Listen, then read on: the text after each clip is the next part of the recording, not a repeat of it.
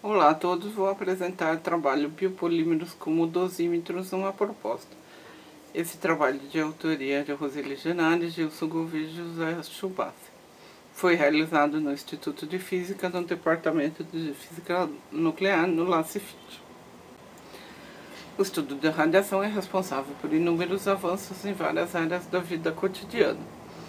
A exposição inadequada à radiação ionizante causa danos irreversíveis nos seres vivos. Existem numerosas aplicações para a radiação ionizante. Portanto, são necessários inúmeros materiais que sejam utilizados com fins dosimétricos para quantificar a radiação absorvida. A busca por novos materiais dosimétricos é uma constante e recentemente se foca em processos mais eficientes ou com menor impacto ambiental.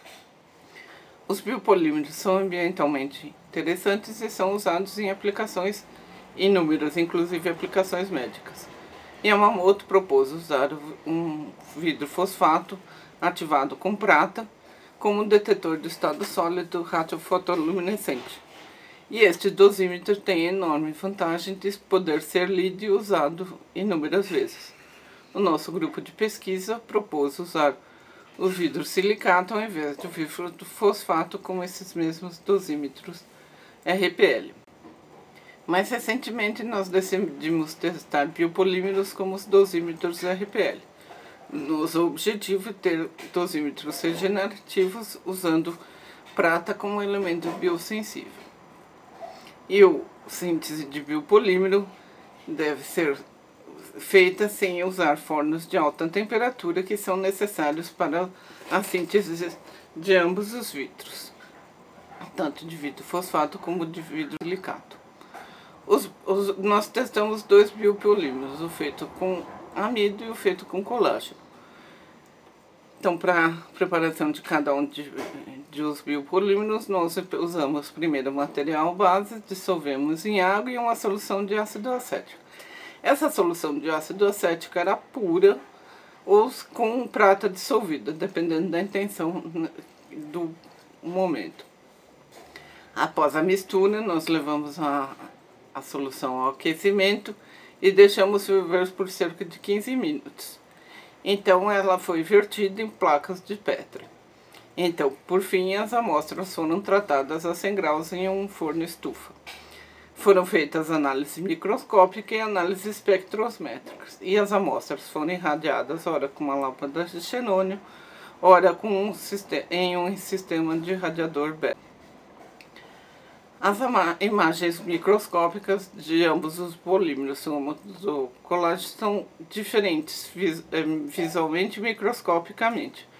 Há também uma diferença na resistência física, haja vista que o polímero de amido é muito mais frágil do que o polímero de colágeno.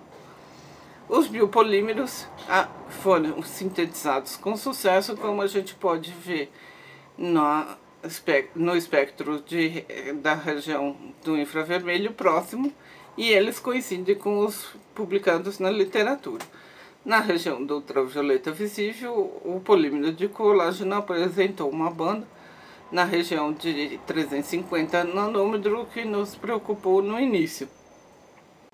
No entanto, quando essa amostra foi irradiada com ultravioleta, fica visível que o, essa banda some, aparecendo somente o, a banda referente à presença de prata. O mesmo acontece quando a gente irradia a amostra de colágeno com prata e, e, e beta.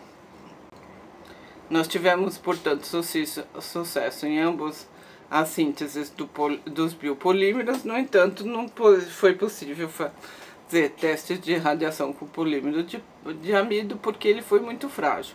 E o biopolímero de colágeno foi sintetizado e mostrou-se sensível à radiação, tanto V quanto beta. Nós gostaríamos de agradecer às agências de fomento pelo, pelo suporte à pesquisa e o Gilson gostaria de agradecer à USP pela sua bolsa.